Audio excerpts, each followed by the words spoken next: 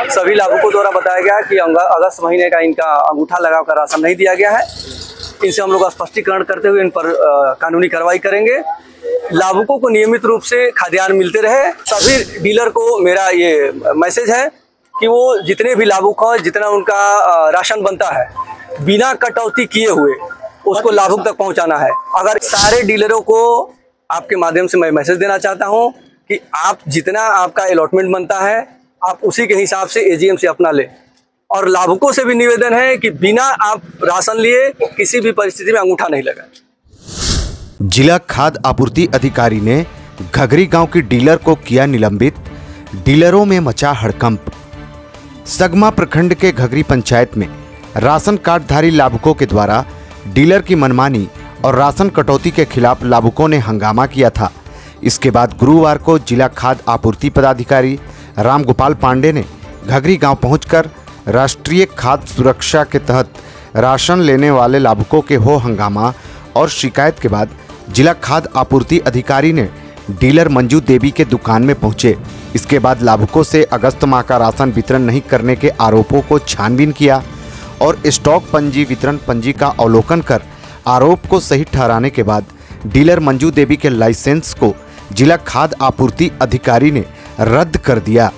वहीं लाभुकों को ससमय राशन वितरण हेतु वैकल्पिक रूप से गाँव के ही महिला समूह की डीलर रीता देवी को उक्त लाभुकों का राशन का आवंटन को सौंपा। जिला खाद्य आपूर्ति अधिकारी ने कहा कि उन्होंने स्वयं स्टॉक पंजी, वितरण पंजी का निरीक्षण किया, जिसमें लाभुकों का जो आरोप था कि अगस्त माह का खाद्यान्न उन्हें नहीं दिया गया है, वह सही था। इसके बाद उन्होंने विभागीय कार्रवाई करते हुए तत्काल डीलर मंजू देवी को निलंबित कर दिया गया। जिला खाद्य आपूर्ति अधिकारी ने कहा कि कोई भी डीलर लाभुकों के निर्धारित मापदंड के अनुसार उनके खाद्यान्न राशन से कटौती करेंगे अथवा गबन करेंगे तो निश्चित रूप से डीलर पर कानूनी कार्रवाई होगी। उन्होंने यह भी कहा कि अगस्त माह का राशन कहाँ गया, इसका विभागीय जाँच चल रहा है। जाँच पूर्ण होने पर संबंधित डीलर से राशन की वसूली करते हुए कानूनी कार्रवाई की जाएगी। आपको बता दें, जिला खाद्य आपूर्ति अधिकारी रामगोपाल पांडे के द्वारा डीलर को निलंबित करने की कार्रवाई के बाद सभी जन वितरण प्रणाली के डीलर में हड़कंप मचा हुआ है। घघरी ग्राम में जो डीलर है एस ग्रुप का, इनके विरुद्ध शिकायत मिली थी। हम लोग जाँच किए। सभी लाभुकों द्वारा बताया गया कि अगस्त महीने का इनका अंगूठा लगाकर राशन नहीं दिया गया है। इनसे हम लोग स्पष्टीकरण करते हुए इन पर कानूनी कार्रवाई करेंगे। लाभुकों को नियमित रूप से खाद्यान्न मिलते रहे। तो बगल वाला जो एस एस ग्रुप है, इनके साथ हम लोग टैग कर दिए हैं इनको। और कल या परसों से सभी लाभुकों को बगल में टैग करके हम लोग राशन दिलवाएँगे।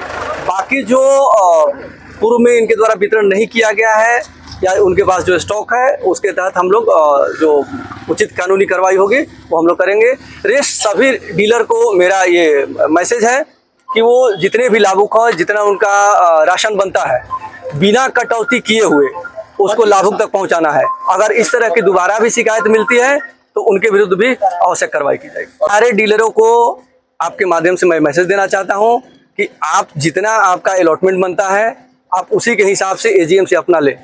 और लाभुकों से भी निवेदन है कि बिना आप राशन लिए किसी भी परिस्थिति में अंगूठा नहीं लगा अगर ऐसा मैसेज मिलता है कि हमको गोडाउन प्रभारी कम देता है तो डीलर संबंधित जिला आपूर्ति पदाधिकारी से शिकायत करेंगे। हम लोग अग्रेतर कार्रवाई उनके विरुद्ध भी करें प्रारंभिक रूप से अगर कहीं डीलर के विरुद्ध शिकायत होती है तो ब्लॉक लेवल पर एमओ है एजीएम है, आप उनसे शिकायत करें। नहीं होता है तो जिला आपूर्ति पदाधिकारी निश्चित रूप से कार्रवाई होगी। और लाभुकों को उनका हक मिलेगा।